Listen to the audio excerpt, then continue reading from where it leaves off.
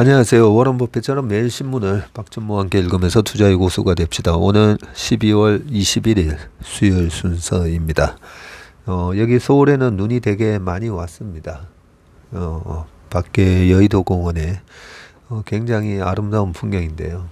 음, 소나무에도 눈이 쌓여 있고 공원에도 하얀 눈이 쌓여 있고 까치가 날아다니는 아주 평화로운 그런 눈이 오는 아침입니다. 하지만 예, 요즘 주식 시장이 또 어, 변동성이 심해지면서 스트레스를 주고 있는데 이럴 때일수록 네, 시장이 세상이 또 어떻게 변하는지 시장은 이 사람들이 많은 사람들이 들어와서 음, 매매를 하다 보니까 변동성이 큰데요. 어, 우리가 실제 살아가는 세상은 그렇게 경기 변동성이 많이 크지는 않습니다. 내년 침체가 온다고 하면서 예상을 하는 게 어, GDP 기준으로 뭐 1.6, 1.7% 상승한다 이러잖아요. 그래서 경기 변동성에 비해서 너무나 음, 사람들의 마음의 변동성이 워낙 크기 때문에요. 예, 거기서 시장의 변동성이 이제 발생하는 거기 때문에 실제로 어, 실생활에서 어떤 변화가 일어나고 있는지를 매일 이렇게 신문을 통해서 우리가 체크를 할 필요가 있습니다. 어, 첫 번째 기사는 어제 이제 또 어, BOJ 미국 아니고 일본 중앙은행의 어, 긴축 정책이 나온 거 아니냐. 네, 이것 때문에 아시아 증시도 흔들리고 유럽 증시도 좀 흔들렸었는데요. 어떤 내용인지 한번 보겠습니다. 엔저 고물가의 초저 금리 고집 꺾어 내년 4월 긴축 고비라고 되어 있습니다. 어, 20일 일본 중앙은행, 일본 은행 BOJ, Bank of Japan이죠. BOJ가 장기금리의 변동폭을 플러스 마이너스 0.5%로 확대하며 지난 10년간 고수해온 초완화적 통화정책 전환에 첫 발을 내디뎠다. 근데 요게 좀 이상하죠. 통화 정책의 전환의 첫발. 이게 우리가 말하는 피벗인데 어 미국 같은 경우에는 지금 통화 긴축의 속도가 아니 도대체 언제까지 이럴 거야 하면서 지난 3월부터 되게 어 가파르게 예, 갈수록 이제 호기시해졌기 때문에 언제 좀 비둘기적으로 좀 바뀌나 이 피벗을 바라고 있는데 일본은 반대로 초완화적 통화 정책을 계속 고수해 오다가 어, 긴축으로 바뀌었다라는 부분입니다. 어, 그래서 한번 조금 더 체크해 보겠습니다. 구로다 하루이코 일본은행 총재가 퇴임하는 내년 4월 이후에 통화 완화 정책 조정이 시작될 것이라는 시장의 예상을 한 발 앞선 깜짝 발표다. 구로다 총재는 이번 결정에 대해서 금리 인상은 아니다라며 선을 그었지만 외신들은 사실상의 금리 인상이라면서 주요국 중앙은행 가운데 유일하게 금리를 올리지 않았던 일본이 오랜 완화 정책에 작별을 고했다고 평을 했습니다. 네, 지금 여기 사진이 나오는데요. 일본은행 통화 완화 정책 수정 주요 내용이라고 되어 있으면서 일본 소비자 물가 추이네요. 지금 이 사진에 나오는 빨간 선이 음, 지난 3월 달에 1.2%였다가 4월에 2.5, 8월에는 3.0, 9월에 3.0이었다가 10월에 3.7% 어, 그렇게 소비자 물가가 올라갔고요. 거의 30년 가까이 이제 디플레이션을 겪던 일본 입장에서는 어, 물가 상승이 사실 좀 고마울 수가 있는 건데 여기에 또 일본은행의 통화 완화 정책 수정 주요 내용이 어, 장기금리 변동 허용 폭을 플러스 마이너스 0.5% 단기금리는 마이너스 0.1%로 동결을 했고요. 장기 국채 매입 규모는 월 7조 3천억 엔에서 월 9조 엔으로 어, 더 늘렸네요. 네. 어, 단기 금리는 동결을 하고 장기 금리 변동폭을 이렇게 늘렸다라는 부분이 그 소위 말하는 이제 YCC라고 있잖아요. yield curve control이라고 하는 그 부분이 있어서 음, 이 부분은 뭐 우리나라의 최고의 전문가는 오건영 부부장인데요. 그 오 부장이 예전에 이래 설명했던 걸 보면 이 YCC를 Fed보다도 훨씬 먼저 어, BOJ에서 했었다는 거죠. 어, 즉 단기 금리 yield curve가 사실은 이제 장기로 갈수록 금리가 높아져야 되니까 yield curve 자체도 사실 우상향하는 이런 그래프가 나와야 되는데 오히려 장기 금리가 높고 단기 금리가 높고 장기 금리가 낮은 그런 모습을 2013년도 그때 이제 미국에서 어 QE3 예, 그때 양적 완화 정책의 QE1, QE2는 이제 돈을 적극적으로 이제 푸는 정책이었다면 QE3는 이 장기 금리를 억지로 낮춰버리는 예, 이렇게 우상향하는 이 yield curve에서 장기 금리를 눌러버리는 그런 정책을 그때 당시에는 이름을 이제 Operation Twist라는 음, 얘기를 마, 마, 명, 명명을 하면서 어, 그 장기 금리를 누르는 그런 yield curve control을 했었는데 그 전에 일본 은행은 미리부터 그렇게 하고 있었다는 거죠.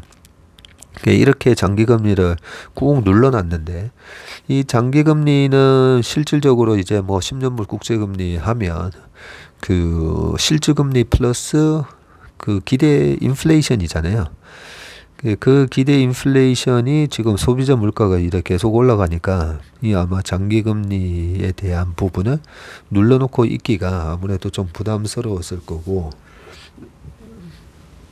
그런 측면에서도 불구하고 어, 과거 미국의 Operation Twist처럼 장기 금리를 꾹 눌러준다는 말은 음, 장기 금리가 영향을 많이 받는 것 중에 하나가 그 모기지 금리거든요.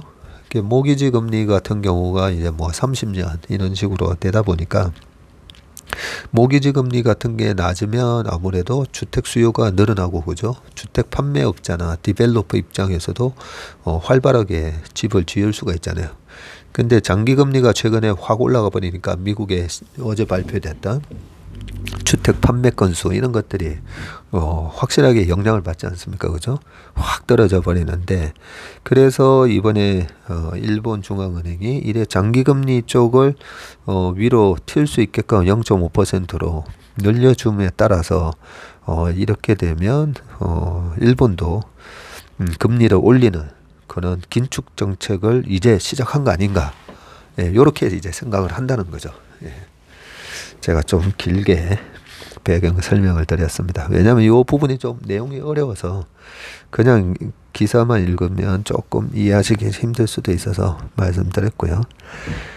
어, 일본은행은 그간 미국의 어, Fed 등 주요국 중앙은행의 기준금리 인상 기조에도 불구하고 나홀로 금융 완화 정책을 고수해 왔는데 인위적으로 금리를 억누르는 사이 금리 격차가 커지면서 외화 유출 우려도 높아졌고 극심한 엔저 현상과 인플레이션도 일본은행의 부담을 가중시켰다. 엔달러 환율은 10월 한때 150엔을 돌파하면서 32년 만에 최고 수준으로 치솟았고 어, 10월 소비자 물가는 1년 전 대비해서 3.6%로 올라 40년 만에 가장 높은 상승률을 기록을 했다. 야, 40년 만이니까 1982년이네요. 이에 따라 경기 부양을 목표로 강력하게 추진해온 대규모 금융 완화책의 유연성을 높이는 등 조정이 필요하다는 주장에 힘이 실렸고요. 니온 게이자이 신문은 당초 일본은행은 엔화 약세가 일본 경제에 긍정적이라는 입장이었지만 환율의 급격한 변동이 기업 활동에 미치는 부정적 영향을 무시할 수 없게 됐다면서 사실상의 금리 인상으로 해외와의 금리 격차를 줄이고 환율의 급격한 변동을 억제하는 효과를 기대할 것이라고 설명을 했네요. 다만 구로다 총재는 이번 장기금리 변동폭 완화를 금리 인상 신호로 확대 해석하는 것을 경계했다. 그는 시장의 기능이 크게 훼손되는 상황에서 나온 결정이라면서 금융 완화 정책의 효과를 원활하게 하기 위한 것으로 금리 인상은 아니다라고 강조를 했고요. 출구 전략의 첫 첫걸음이 아니며 이를 논의하는 것은 시기상조라고 또 얘기를 했습니다. 이날 장기금리 변동폭을 손본 것과 달리 단기금리는 마이너스 0.1%로 동결한 것도 이 같은 맥락으로 해석이 되고요. 아울러 일본은행은 장기 국채 매입 규모를 내년 3월까지 한 달에 7조 3천억 엔, 약 71조에서 9조 엔으로 확대하기로 했다.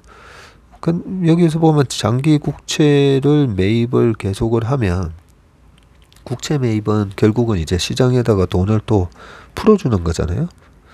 그러니까 조금 이 금리 변동폭을 확대한 게 긴축으로 갔다라고 또 해석하기도 어렵겠네요. 어, 일본 내에서도 약간 어, 돈맥경화 현상이 있는 건지는 모르겠지만 좀 더 읽어보겠습니다.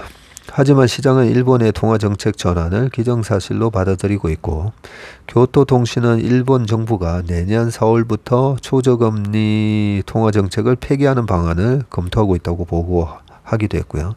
2023년은 일본 통화 정책의 근간을 이루는 일본 정부와 일본 은행의 공동 성명이 채택된 지 꼭 10년이 되는 해인데다가 4월은 구로다 총재의 임기가 만료되는 때라고 합니다. 일본 정부가 구로다 총재가 물러난 후 후임 총재와 함께 공동 성명의 표현을 재검토하고 통화 정책의 새 판 짜기에 나설 것이라는 관측인데요. 아시아 금융시장도 이날 일본은행의 결정을 정책 전환의 신호탄으로 받아들이면서 요동쳤고요.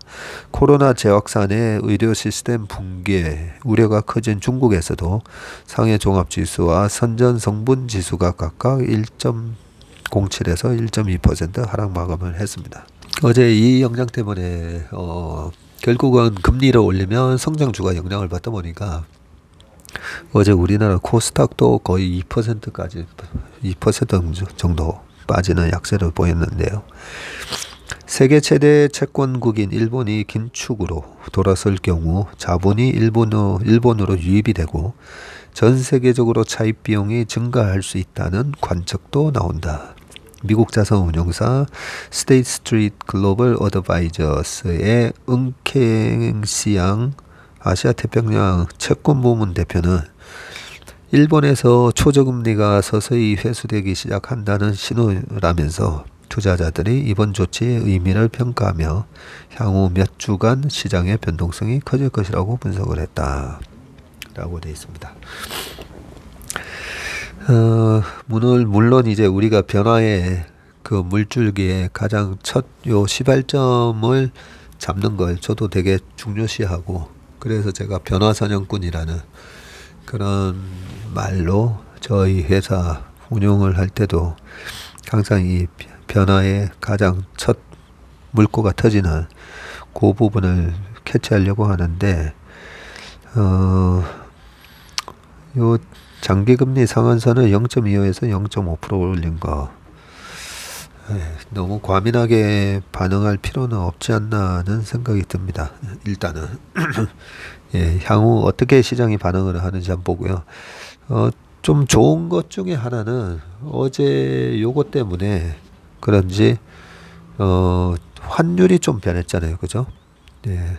환율이 어제 같은 경우에 시장 지표를 보면 우리나라 자동차 시즈 자동차 주가가 약세를 보이는 이유 중에 하나도 사실 엔저의 현상 때문이기도 한데요. 어, 굉장히 이제 미국하고 유럽이나 이런 데서 전기차 부분에서도 선전함에도 불구하고 이 환율이 영향을 좀 줬는데 어, 오늘 환율이 어제보다는 1.6 떨어져서 일본 엔화가 972 예, 요렇게 하고 있고요. 어, 지금 엔달러 환율은 132.33 어제 대비해서 다시 3%나 어, 떨어지고 있네요. 어, 그 다음 기사는 코로나 혼란의 부동산 침체까지 올해 중국 성장률이 4.3에서 2.7%로 예, 떨어진다라는 기사입니다. 어, 우리가 대중 무역 쪽이 어, 아시다시피 지금은 한, 한 28% 거의 30% 갔다가 최근에 이제 미국 쪽 수출이 늘어나고 하면서 어, 대중 수출 비중이 지금은 한 23, 24까지 지금 떨어져 있긴 합니다. 하지만 여전히 예, 뭐 가장 비중이 높은 그런 나라이기 때문에 어, 중국에서 어떤 변화가 있는지 계속 체크를 해야 됩니다. 예. 어, WB 월드뱅크겠네요. 어, 세계은행이 중국 성장률을 대폭 하향을 했고요. 내년 전망치도 4.5에서 4.3 이렇게인데 좀 전에 2.7%라고 헤드라인에는 이렇게 돼 있는데 이마저도 기저효과 반영 탓 분석 팬데믹 조기 회복해야 5% 가능하다라고 되어 있습니다.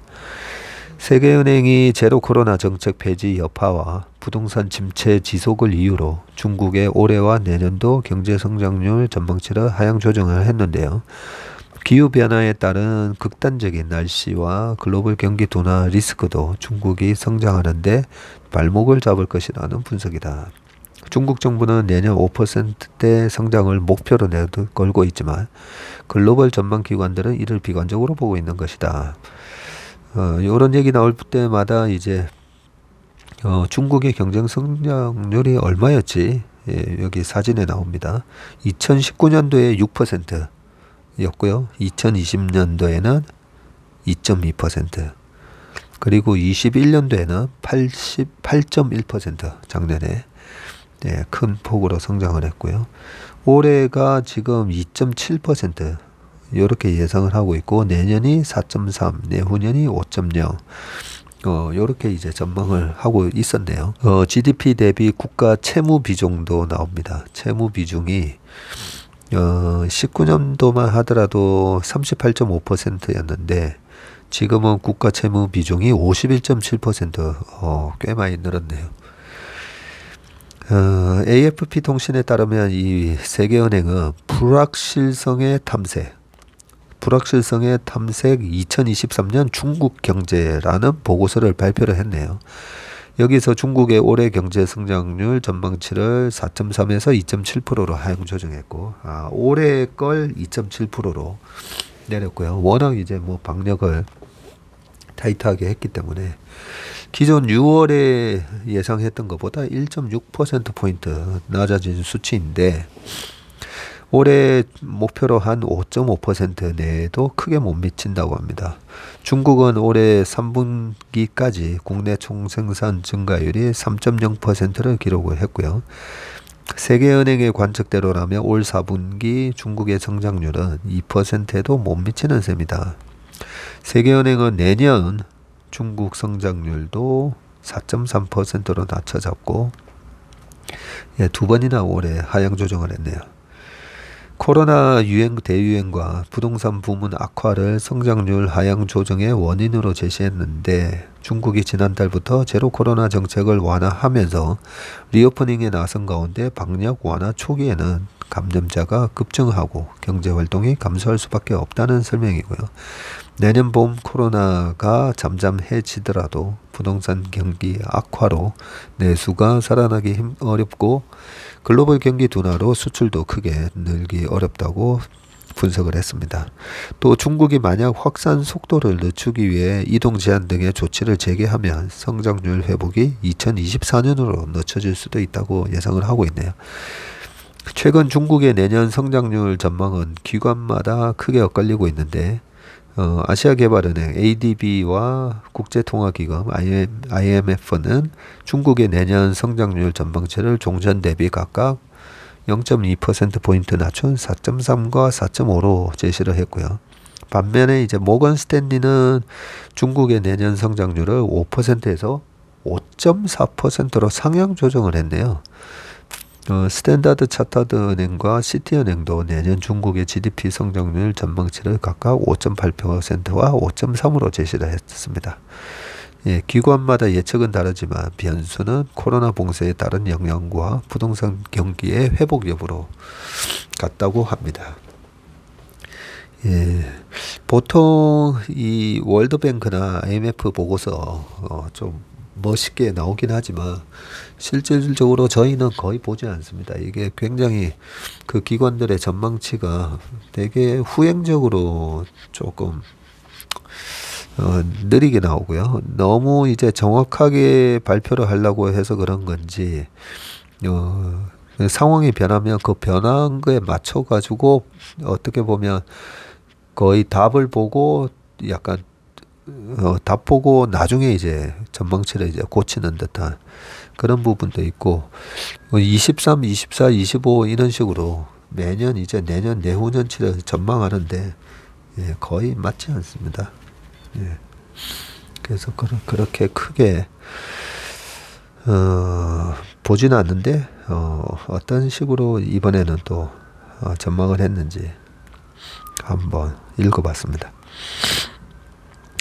그 다음 기사는요, 어, DS 일부 사업부 4분기부터 적자 조짐, 삼성 메모리 감산 관측도 예, 라고 되어 있습니다. 예, 삼성전자 어, 우리나라 투자가분들이 이제 700만 명 가까웠게 투자를 하고 계시다 보니까 관심이 많으실 건데 어, 예전부터 오랫동안 이제 삼성전자를 투자해 오신 분들은 느긋하게 아마 좀 기다리실 수도 있는데 최근에 이제 주식을 사신 분들은 되게 아마 불안하실 겁니다. 네, 그래서 어, 좀 읽어드리고 예, 또 제가 생각하는 부분하고 좀 다른 점이 있는지도 한번 말씀드리겠습니다. 골드만삭스가 삼성전자의 4분기 실적 전망을 대폭 하향한 것을 두고 업계에서는 반도체 쇼크라는 반응이 나오, 나온다. 글로벌 메모리 반도체 업황 부진의 여파로 삼성전자의 실적 전망이 계속 떨어지는 추세였지만 이번 조정은 시장 예상치를 훨씬 벗어났기 때문이다. 기업들이 시시각각 악화하는 시장 전망에 맞춰서 내년 사업 전략을 보수적으로 조정한 상태지만 글로벌 투자 업계의 경고는 그보다 더 큰 전략 재수정이 필요할 수 있다는 암시를 담았다라고 되어 있습니다. 어, 여기서 이번 조정은 시장 예상치를 훨씬 벗어났다라고 되어 있는데요.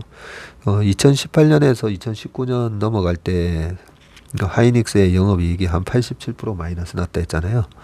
그때도 시장이 예상한 만큼 빠진 게 아니고요.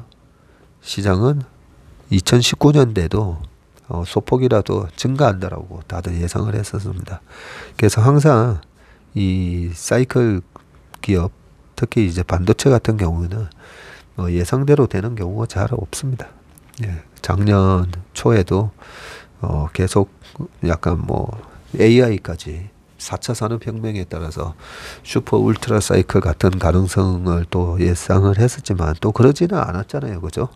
네, 그런 것처럼 어, 예상을 벗어나는 이라고 돼 있는데 맞습니다. 예상치를 훨씬 벗어났는데 이런 일이 자주 자주 있습니다. 자주. 음, 국내 반도체 기업들이 직면한 가장 큰 위기는 주력인 메모리 반도체의 수익성 악화다. 반도체 업계 전체의 불황이 거센 와중에 재고 증가와 제품 가격 하락으로 수익성이 급격히 악화한 메모리 반도체는 더 큰 타격을 입고 있는데 삼성전자의 경우 전체 반도체 매출 가운데 메모리 비중이 66% 수준이고요. 전체 사업 중 대부분 95%를 메모리 반도체에 의존하는 하이닉스는 문제가 더욱 크다.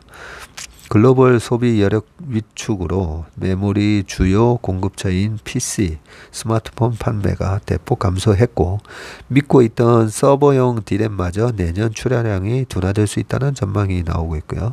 삼성전자 내에서는 반도체, 이 DS 사업부문이 반도체입니다. 어, 반도체 부문의 일부 사업부가 4분기에 적자를 기록할 가능성이 있다는 얘기도 나오고 있는 것으로 알려졌다. 가트너에 따르면 내년 메모리 반도체 DRAM하고 NAND flash 합친 겁니다.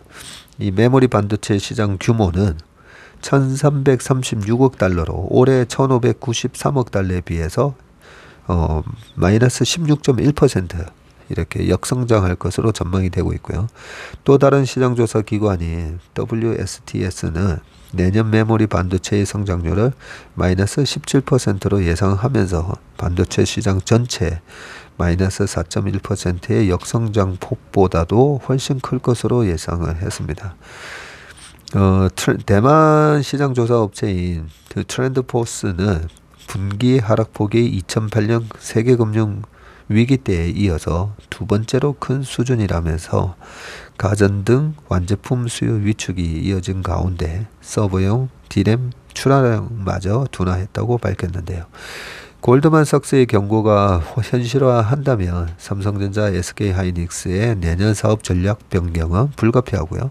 삼성전자는 업황 악화에도 인위적 감사는 없다는 입장을 고수하고 있는데 재고 증가로 공급을 줄여서 가격 상승을 유도해야 할 시점이지만 경쟁사들이 이 같은 흐름으로 나설 때 오히려 가격 우위를 점해서 시장 점유율을 확대하겠다는 전략이다. 경쟁사들보다 높은 원가 경쟁력과 쌓아놓은 여유 자금 등을 바탕으로 2010년대 일본과의 메모리 치킨 게임을 재현하겠다는 그림을 그렸다. SK 하이닉스는 내년 시슬 투자액을 올해 대비 50% 이상 감축하는 등 긴축에 들어가겠다고 밝힌 상태다. 여기서 2010년이라고 돼 있잖아요. 참 공교롭게도 어, 2008년 금융위기 있고 2009년 주가가 올라가고 2010년도에 돈을 푼 영향 때문에 뭐 물가가 올라가고 금리가 어, 4% 정도까지 올라간 그런 상황에서 어, 그때 당시에 어, 반도체는 치킨 게임을 하고 있었습니다. 네, 그래서 2010년도에 어, 다가마하고 2011년도에는 하이닉스가 SK 하이닉스에 인수됐다고 예, 제가 말씀을 드렸습니다. 예, 그때와 같은 치킨 게임이 또 재현되는 게 아닌가 이래 걱정을 지금 하는 겁니다. 어, 근데 이게 좀 말이 안 되는 게 어, 지금 이 메모리 업체가 딱 세 군데 있잖아요. 삼성전자, 하이닉스, 마이크로. 근데 뭐 누굴 죽이겠다는 건지 만약에 하이닉스 여기서는 이제 마이크로는 안 죽을 거니까요. 그죠? 하이닉스를 죽일 수가 없습니다. 왜냐하면 이게 반독점법에 걸려버리거든요. 하이닉스를 삼성전자가 예, 인수 못합니다. 예. 그래서 어, 치킨 게임을 굳이 할 필요는 없는 상황이고요. 그리고 어, 골드만삭스 얘기를 조금 더 읽어볼게요. 골드만 삭스의 전망대로 시장 상황이 더욱 악화한다면 아무리 삼성전자라도 감산 전환을 고민하지 않을 수가 없고요. 하이닉스는 이미 바짝 조인 허리띠를 더욱 졸라매서 투자 규모를 더 줄여야 할 수도 있다. 시장에서는 어, 21일 예정된 메모리 업계 3위인 미국 마이크론 테크놀리지의 1분기 실적 발표가 어, 내일 새벽에 있습니다. 어, 1분기라고 하면 2022년 9월에서 11월 달입니다. 얘네들 9, 10, 11. 예, 미국 기업들은 보면 우리나라처럼 전부 1월에서 12월 또는 뭐 3월에서 2월 말 거의 우리나라 회사들은 아니면 6월 말 결산도 있긴 한데 거의 획일적인데 미국은 막 이렇게 다 회계연도가 아주 많이 다릅니다. 아무튼 이번 실적 발표가 중요한 분기점이 될 수 있다고 보는데 메모리 업황의 바로 밑으로 통하는 마이크론의 실적에 따라서 시장 전체의 생산량 조절 수위가 결정될 것으로 보이고요. 마이크론의 실적이 실적이 시장 예상을 크게 하회하면 투자 위축 감산으로 이어지는 불황 사이클의 장기화가 현실화할 우려가 높아진다. 삼성전자는 마이크론의 실적 발표 다음 날인 22일 DS 부문 글로벌 전략 회의를 열고 내년 사업 전략 모색에 나설 계획이라고 합니다. 업계에서는 계속되는 시장 한파 속에 삼성전자가 감산으로 전환할 수밖에 없을 것으로 내다보고 있는데요. 김양재 다올투자증권 연구원은 감산 결정이 없다면 삼성전자 메모리 부문 역시 내년 2분기에 적자 전환이 불가피하다면서 4분기 실적 발표에서 감산 계획을 밝힐 가능성을 점쳤다고 합니다. 허리띠를 졸라 매고 쌓아놓은 현금으로 버틴다고 해도 사업 부문에 적자가 발생하면 이 같은 방침을 더 이어가기 어려울 수밖에 없다는 관측이고요. 삼성전자와 하이닉스는 어떤 방식을 택하든 이러면 내년 하반기로 예상되는 반도체 사이클 반등 시기까지 버티는 수밖에 없다는 반응이고요. 시설 투자 생산량을 줄이는 것과 관계없이 이후 시장에서 주도권을 계속 유지하기 위해서 R&D 투자에 집중하면서 기술 경쟁력 우위는 지켜나가겠다는 생각입니다. 어, 하이닉스는 이날 뉴스 룸을 통해서 김영건 미래에셋증권 리서치센터 반도체 연구원과의 인터뷰를 어, 게재하면서 내년 하반기 이후에 시장 반등 가능성을 예고를 했다고 합니다. 김 위원은 현재 전반적인 업황 악화가 이어지다 내년 하반기에는 반등의 전환점을 맞을 것으로 예상한다고 밝혔습니다. 삼성전자와 하이닉스는 고부가 제품인 데이터 센터 서버용 디램 시장의 공략을 가속화하기 위해서 위기에 대응하겠다는 전략을 세웠고요. 업계 관계자는 데이터 센터 서버용 디램 수요가 모바일용 수요를 넘어설 것으로 예상되는 상황이라면서 서버용 디램 시장의 DDR5R 교체 수요 흐름을 타면 예상보다 빠른 반등을 기대해 볼 수 있을 것이라고 말했습니다. AMD에서는 이미 이제 DDR5를 랑 호환이 성이 좋은 어, 서버용 어, CPU를 이미 출시를 했고요. 어, 인텔이 계속 늦어지다가 내년 1월 이제 뭐 한 달밖에 안 남았네요. 내년 1월에 그 사파이어 레피즈라는 그 CPU를 이제 출시를 하기 때문에 음, 그 부분이 아마 내년도에 하나의 큰 변수가 되지 않을까 그런 생각을 해봅니다. 어, 그 다음은요, 조사 수개월 걸리고 단속 인력이 부족해서 불법 급여 3조 중 환수, 가 되는 거는 7% 뿐이다 라고 돼 있는데 이게 뭔 얘긴가 봤더니 네. 시한부 건보 재정 대수술만이 살 길이다. 관리 부실에 줄줄 새는 건보료 건강보험료죠. 사무장 병원 한 곳에서 6년간 86억 편취 허위 청구 적발액 2021년 1768억 행정처분 들어가며 폐업하고 잠적해버리고 뒷북 단속, 손방망이 처벌이 먹튀를 양산을 하고 있고 시스템 인력 해결 안 되면 더 늘 것. 직원의 조사 권한 특사경 도입하고 징벌적 부당이득 환수 등 제재를 강화해야 한다라는 기사인데요. A 의원은 환자가 병원에 오지도 않았는데 진료를 한 것처럼 꾸며서 진찰료, 주사료 등 급여 비용으로 5억 9,548만 원을 36개월간 거짓 청구했고요. B 병원 역시 3년간 실제로는 하지도 않은 방사선 영상 진단, 구강 내 소염술, 진찰료 등의 명목으로 6,768만 원을 챙겼고요. C씨는 의사 면허는 있지만 진료를 하지도 하지는 못하는 88세 D씨를 요양병원 대표로 내세웠고 사무장 병원인 C씨의 요양병원은 급여비 6억 4천만 원을 착복하다가 결국 적발됐고 의료인 자격이 없는 E씨는 2010년 의료생협을 설립한 뒤에 사무장 병원을 운영하며 6년간 86억 6,200만 원의 급여비를 타갔다고 합니다. 의료기관의 건강보험급여 허위 청구와 불법 개설 의료기관이 건보 재정을 갉아먹고 있다. 허위 청구는 단순 전산 착오 청구부터 보험 사기, 거짓 청구 등 유형이 다양하다. 불법 개설 의료기관은 일명 사무장 병원, 면허 대여, 약국 등이다. 2009년부터 2022년 10월까지 14년간 사무장, 사무장 병원 등 진료 자격이 없는 불법 개설 의료기관에 지급된 급여비는 총 3조 1731억 원에 달한다. 와. 이중 환수한 금액은 2154억 겨우 6.79%에 불과하고요.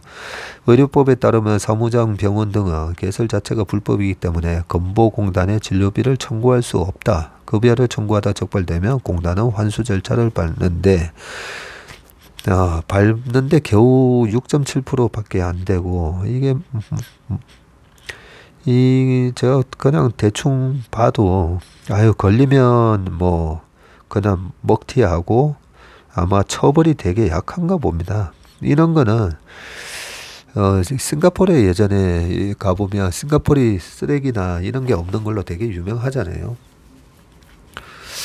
어, 되게 그 처벌이 강하죠. 되게 처벌이 강하고, 미국에도 그 no littering이라고 해서 운전하다 보면 오른쪽에 그 창밖으로 이렇게 쓰레기 버리지 말라는 거죠. 거기도 보면 fine이라고 해서 벌금이 천 달러. 그게 제가 벌써 30년 전에 본 게 천 달러였거든요. 어, 그런 식으로 어, 쓰레기 잘못 버렸다가 네, littering에는 뭐 담배꽁초 밖으로 툭 던지는 것도 마찬가지입니다. 그렇게 했다가는 천 달러나 되는 벌금을 몰다 보니까 130만 원이잖아요. 근데 뭐 30년 전이었으면 이 돈이 한 300만 원, 400만 원 되는 건데 그렇게 그렇게 뭐 벌금이 세다 보니까 그런 걸 방지할 수가 있는데 너무 이제 처벌이 약한가 보네요. 예. 그리고 우리가 어 저희 같은 월급쟁이들은 월급 받아 가지고 거의 그 세금뿐만 아니라 이 사대 보험에 엄청난 돈을 내잖아요. 그죠? 네. 그 중에 하나가 이제 건강보험료인데 건보료 내는 거 아마 다들 아실 겁니다.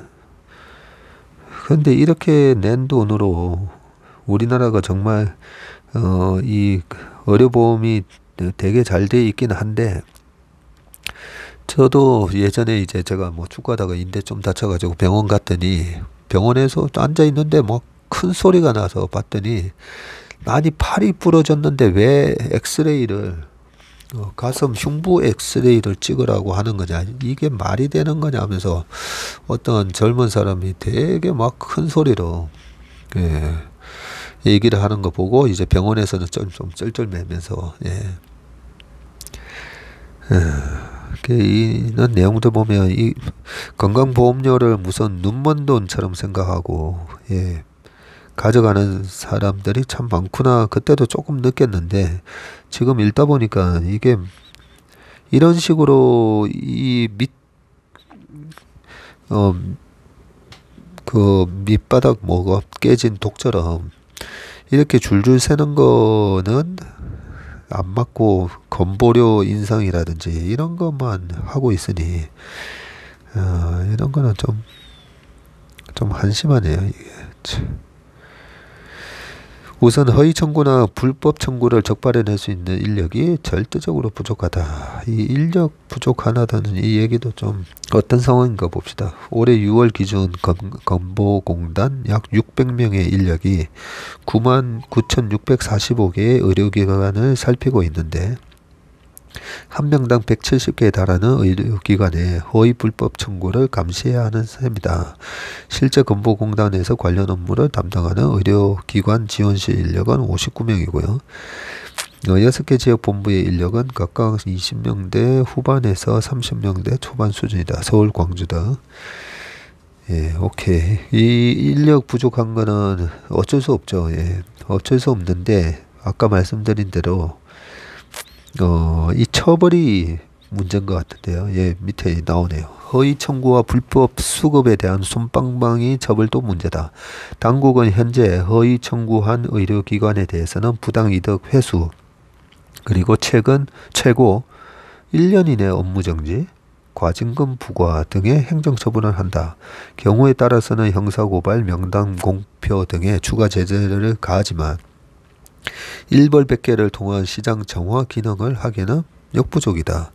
한 관계자는 제재에도 불구하고 허위 청구 불법 수급이 사라지고 있지 않는 것은 제재가 약하기 때문이라면서 징벌적 부당 이득 환수와 면허 취소보다 실효성 있고 강력한 제재 수단이 필요하다고 지적을 했습니다. 네.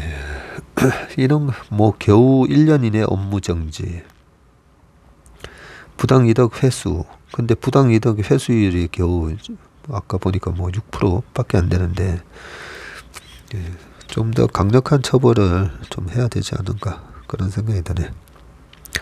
그 다음에는 직원 횡령 잇따라 건보 내부 시스템도 구멍. 이거는 또